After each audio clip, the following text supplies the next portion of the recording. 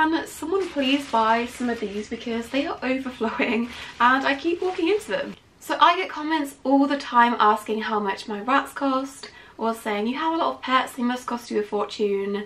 And honestly, I have no idea. It's not something that I regularly monitor or keep track of. And I recognise that is a really privileged position to be in, but I don't live beyond my means. I make sure that every single animal I've got, I can afford worst case scenario, so I've just never had a reason to track it. But I thought it might be interesting to share with you every single thing that I spend or buy my pets in one entire month. So this is what I spent on them in April. So I realised pretty early on into this, if I was to just share with you what I bought in April, it wouldn't really be accurate to how much I actually spend on the pets and how much they cost me because I do buy a lot of things in bulk, things like the cat food, the rat bedding, the rat food, a lot of what I did buy back in March and that will last me a good couple of months so it wouldn't really be accurate if I didn't share those figures too. I worked out how much they would cost me if I was buying them every single month and we'll start with that. So starting with my cat Hubble, I'm quite lucky with most of my pets. I can get most of their food and accessories from wholesalers just because of my job and that does tend to make things a lot cheaper so for his food it costs about £1.30 per day and that's about £39.87 a month. Then he also has his insurance every single month and annoyingly this has gone up a fair bit, that is £16.23 a month. Then of course we have his cat litter, I just use a really cheap one and this is about £1.99 per bag and I go through maybe two bags a month so about £4 on cat litter. So that is pretty much it for Hubble. I don't tend to buy him toys on a monthly basis because he has a big basket already that he barely touches and treats.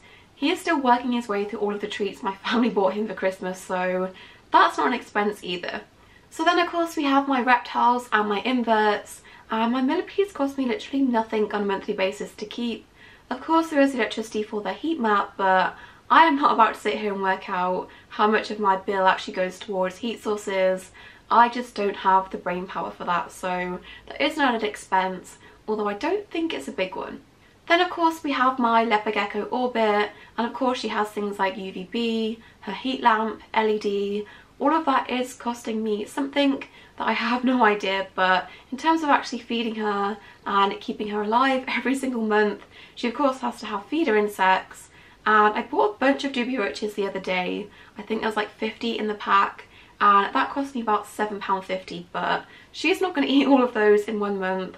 I'd say between different feeder insects maybe about two to three pounds every single month that she will eat. She obviously has to have other things, things like supplements on her food. I did buy big bags of those last year and I've got a bunch of that left so that's also a one-off yearly cost that I'm not really going to count. Then we have my African egg eating snake Rue. She is pretty simple every single month all she has to have is quail eggs and we spent £3.35 on a pack that will last her about a month. And lastly is my giant African land snail slushie. Pretty simple just eating fruits and vegetables that we are buying for ourselves regardless so I don't really count that as an added cost. Things like peppers, carrots, salad leaves, all of that we're buying anyway so the only thing that we don't personally eat that is bought specifically for the snail is things like courgette and I'd say he goes through maybe two of those every single month so about a pound. Oh, my snail also gets a protein mix from Etsy. It's about £2 a bag. He definitely doesn't go through that entire bag in a month, so maybe a pound's worth of that. So £2 on the snail. Then we have the cost of the rats and the mice and this one was the hardest to work out because there's so many different components but we'll start with their bedding. So the bedding I use is called Aubiose and this tends to be about £12 a bag if I go to a local horse store. Sometimes I am lazy and I just get it off of Amazon and it's about £20 on there I think but most months I am good. I will go to a local farm or horse shop and it's about £12 a bag and that will last me the entire month. I'll tend to use half a bag with the rats and half a bag with the mice. I do also use other types of beddings mixed in, things like shredded cardboard or hay and I've not written down how much I paid for those but it's not very much and I don't use that much compared to the Aubiose. I'd say with all of that included I probably spend about £15 on bedding total every single month for the rats and also the mice. And then it was time to work out how much I spend on food for the rats and the mice every single month and this was really tricky because I do make their own food myself and there's so many components and ingredients involved in this that it was quite difficult so the easiest way that I could think to do this was to make a very very simple mix based on just one round of the Shunamite diet and then work out based on percentages and how much of the food I was using for each different section and also how many animals I was feeding. So at the time of me working this out this was to feed five rats and five mice based on how much they should be having every single day for a month. And just to do one round of the Shunamite diet I think it lasted me about two weeks and then obviously I double that to make a month so I hope that makes sense. I confused myself during this entire process but I made it very very simple. Obviously usually I'll bulk make a lot more of this so it lasts me a lot longer and I'm not making it all the time. And of course I do add in a lot more ingredients in the different sections just to give them a bit more variety but for the sake of this video I made it very very simplified just to make it easier to work out how much it generally costs. So the first thing that goes in is their base mix. For this I just use Harrison's Banana Brunch and this is about £22.64 on Amazon. I'd say maybe I use 20% of the bag every single month just to guess and that would be about £4.50 on the base mix every single month. Then the next thing to go in is a good quality dog food. These are quite expensive, they're about £9.99 for a small bag but I don't use all of this. I'd say maybe about £2 worth of this every month then when I'm making the mouse food separate, I will also add a bit more protein and I tend to do this in the form of dried mealworms.